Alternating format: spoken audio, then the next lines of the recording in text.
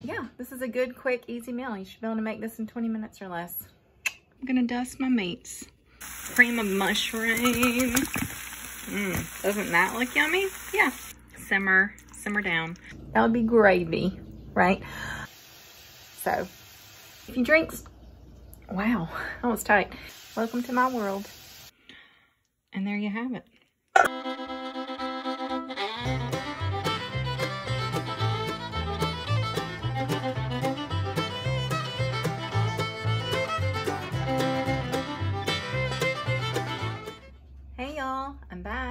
Tonight, I wanted to do something pretty easy. No, it is easy. It's very easy. I had a pack of beef tips in my freezer in here that I need to do something with.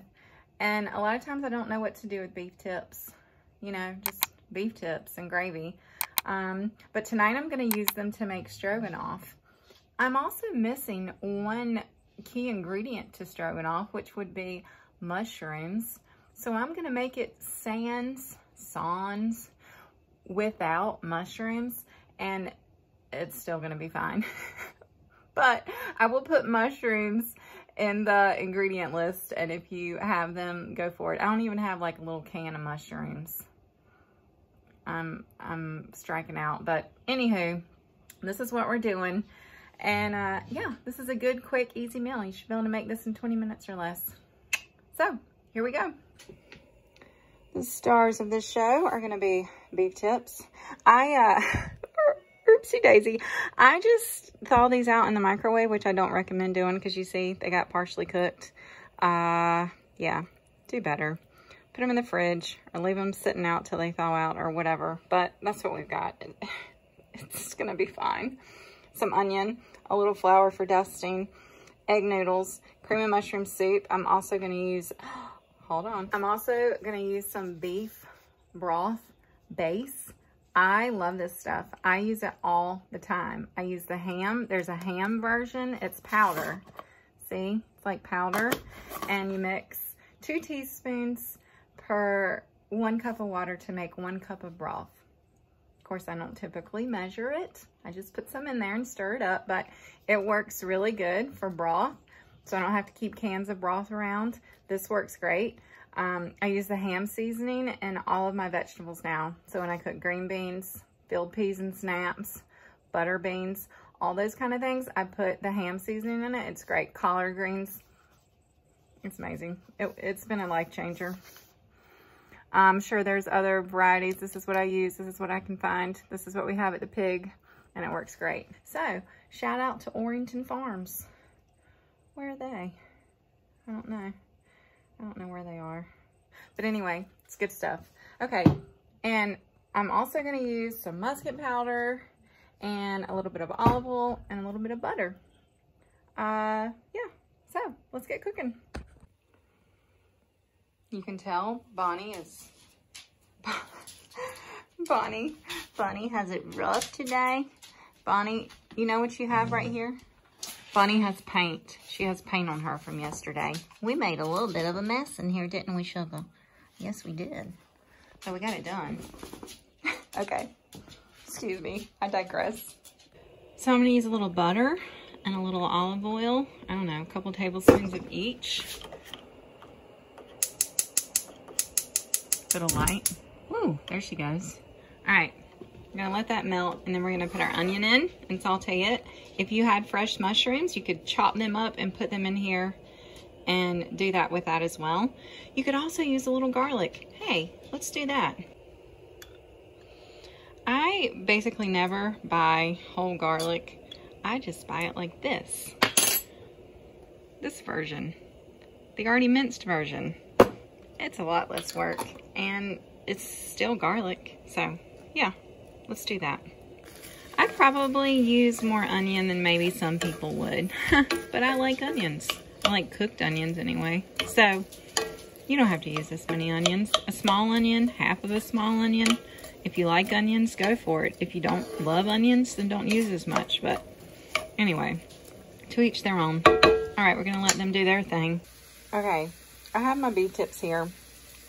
And I considered putting them in the Instapot and letting them cook there and then just mixing it all up, but I'm gonna change my mind. I'm gonna do it like this. But since some of the pieces are kind of big, I'm gonna go through and cut some of them up just a little bit more, just to make sure that they're bite size, okay? And then we're gonna dust, we're gonna dust. Oh man, that really did get cooked.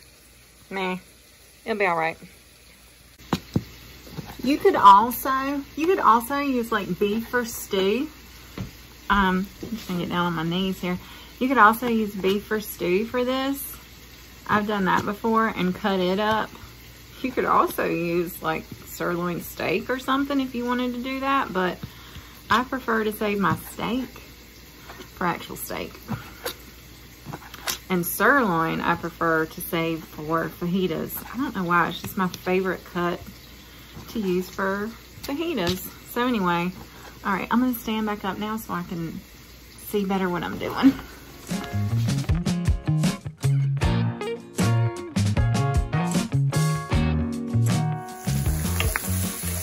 All right, the onions are looking good. Yeah, buddy. Smelling good too. Okay, I took the onions and garlic out. And now we're gonna do the meat. So I'm gonna sprinkle it with some red label musket powder. If you don't have musket powder, why though? Just kidding. Um, yeah, you could also use seasoning salt or your own favorite seasoning, whatever that is. But this is what I like, so this is what I'm using. And then I'm gonna take this really old, crazy looking little, I think it's actually a tea strainer, but I use it for dusting. And I'm gonna get a little flour and I'm gonna dust it. I'm gonna dust my meats with some flour, okay? And then I'm going to put a little more butter in here and we're gonna let that melt. Y'all, I'm having um I'm having meltdown issues with my phone today, so I'm having to stop and start again. Anyway, it's all good. Okay, so we have our meat dusted. And now we're just gonna put it in here. We're gonna put it in here if it'll come off the little thingamajiggy. Okay. And we're gonna let that saute. And I'm gonna have to re-clean my stove. It's all good, it's all good. We're gonna let this saute and get brown. Then we're gonna add the onions back and the other goodness. The problem with my phone is me. It's hmm. the, it's because I don't clean it out. I don't clean it off or clean it out enough. And I had 8,000 videos. So I've deleted about 3,000. I'm just really bad about not, not deleting after I transfer to my computer and my external hard drive. So, yeah, welcome to my world. Okay, now that that is pretty well browned, we're going to put the onions and the garlic and the pretend mushrooms back in there. And we're going to dump in our cream of mushroom. Mmm, doesn't that look yummy? Yeah. And then we're going to put about that much of that in there. Then we're gonna come over here. We're gonna fill this up. Oh, make a mess with water. And we're gonna make our beef broth like so. Uh -huh. We're gonna pour that in. We're gonna stir it all up. Where's my spoon? Hmm. Question. Get a new one. Um, we're gonna stir this up.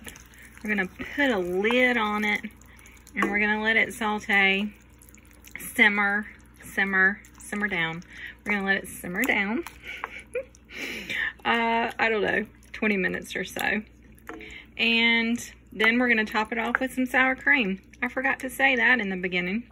We need sour cream. And guess what I'm low on? Sour cream. So I'm gonna put the amount in the recipe.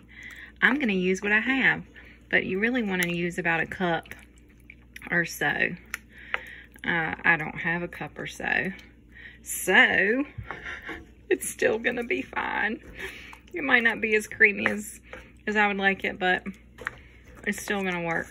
Alrighty, we're gonna let that do its thing for a little while. And I'll see you in a bit. One thing I don't have that I wish I had was lids for my cast iron skillets.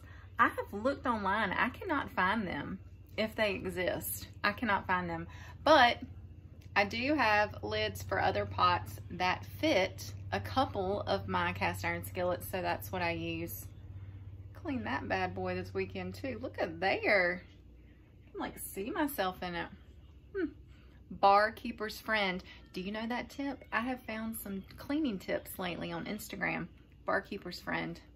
Work like a charm. So we're gonna put a lid on that and let it simmer on low. And then we're gonna get our water boiling and cook our egg noodles. Okay, you're also going to want to come back. You're going to check on it. You're going to want to check on your stroganoff. And you're going to want to stir it. I wish I could talk today. And you're going to want to stir it a little bit because it might get stuck on the bottom a little bit. See all those chunks, chunks of the soup? They disappear, y'all. It's all good. Now, you could put, let me tell you something you could do if that bothers you. You could put the cream of mushroom soup and the beef broth in a separate bowl and you could whisk it together until it was smooth and then you could pour it on top of your meat. You could do that and that would be great. That would be gravy, right? Uh, but it would be another bowl to wash and I'm not much on having to wash more than I actually have to so I didn't do that. But you can. You can. And also in other news, it's supper time. And guess what? There was one tiny iota of tea left in this pitcher. I get really upset when people put the tea pitcher back in the refrigerator with a swallow left. Anyway, here it is. I'm drinking it. So the good news is I don't have to scurry and make tea while I'm trying to cook supper tonight because I have tea starter. Did you see that video? If you drink Wow, that was tight. If you drink sweet tea, you need this in your life. I will link to it right here. You can find it on my channel. Uh, we're gonna pour the starter in. We're gonna fill it the rest of the way up with water. And guess what? We have tea. Cheers. And there you have it. Beef stroganoff.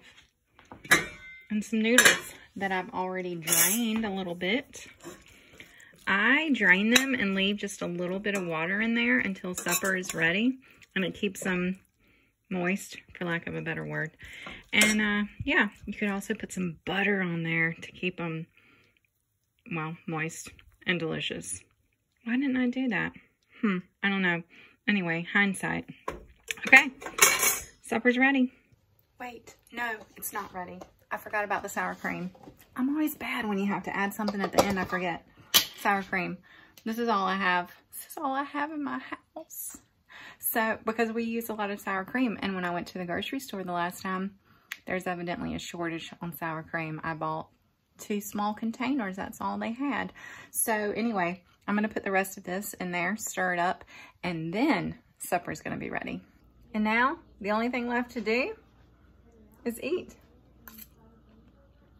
Have Happy cooking.